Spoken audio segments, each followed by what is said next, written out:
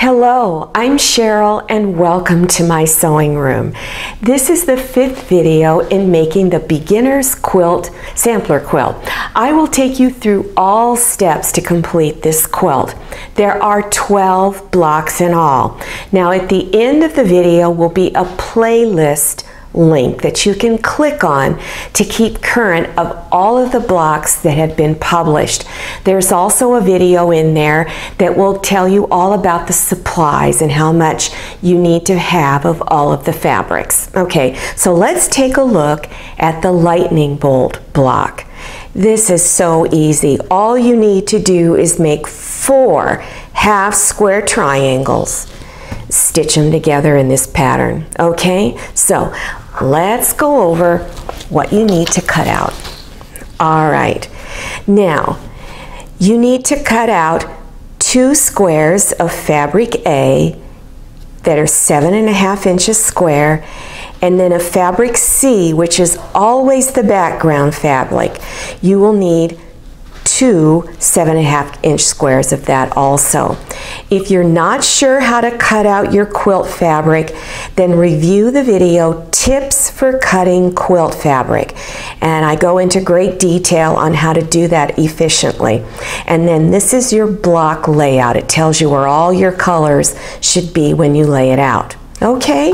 All right, so now take both of your background fabrics, your C fabric, and you're going to draw lines down the center of each. So line up your ruler corner to corner.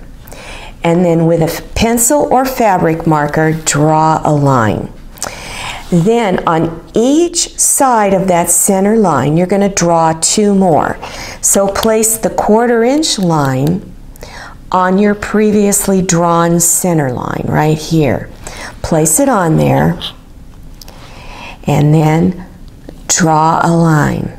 Then go to the other side, place the quarter inch line on the previously drawn pencil line, place it on there, and draw a third line. So now you're going to have three different lines, okay? Now you're going to stitch on the two outer lines. Stitch all the way across. You're doing that on both of your blocks. So before you stitch, make sure that you've got your A fabric right side together with your C fabric on both of them. Okay? Then do your stitching. Then after that, you're going to cut each block in half. So place the ruler on that center pencil line and cut your block. Do the same thing on your other one. Do both blocks just like that. Okay, now take two of your halves and have it to where the dark side is up and take your other two halves, your triangles, and have it to where the light side is up. Okay, like that. Then with your iron, press the seams nice and flat. Okay? Then open the blocks up and press on the front side, making sure that the two seams over here are going towards the dark fabric okay? And then on the two lighter side facing up, you're going to do the same thing. Open them up and press them both on top, making sure these two seams are going towards the light fabric, okay? All right, then after you've done that, you want to cut, or excuse me, square your blocks to six and a half inches, okay? So, take your square ruler, and it's much easier to do this if you have a square ruler. Place that center line on there, right on your seam, okay? So place it on there. Now remember, your block right now is not six and a half inches. We're going to cut it to six and a half inches. So after you've laid the diagonal line down, you want to make sure that you've got a little bit of fabric hanging out on these two sides plus where your six and a half inch line is, make sure there's a little bit of fabric hanging out on both of these. So after you've got everything lined up, you're going to cut two sides right now. All right, and then cut this side.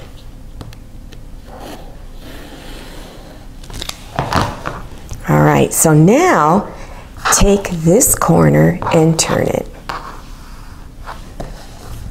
Lay that diagonal line down there on that center line. Now, place the six and a half inch lines here and here on the two previously cut sides. So they're right there on that raw edge. Then, cut the last two sides.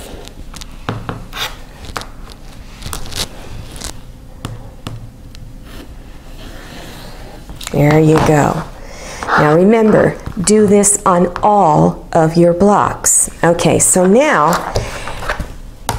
take the two pieces that had the dark side facing up, okay, that you pressed your seams going towards the dark side, and take the two yellow ones, all right?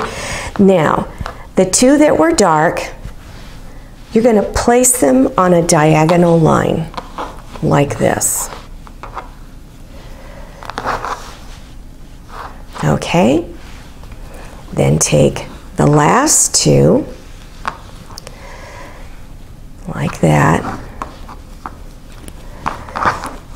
and then like that. Now, you're probably wondering, why did I do that? Because I want to make sure the seams here and here are going in the opposite direction, and they are. Okay? So you're going to put that one on top, and in this corner, right here, you'll see that this seam on the bottom is going in the opposite direction of the one on top. So lock that in and line up your block all around.